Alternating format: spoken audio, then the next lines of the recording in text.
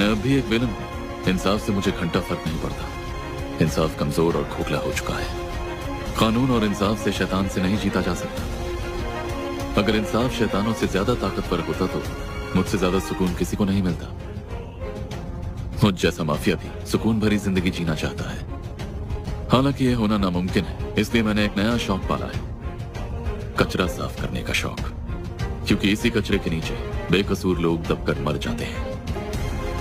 मैं खुद शैतान हूँ, इसलिए शैतान के नज़रिए से एक आखिरी बात कहना चाहता हूँ। एल माले एक क्रांति, ए वास्तो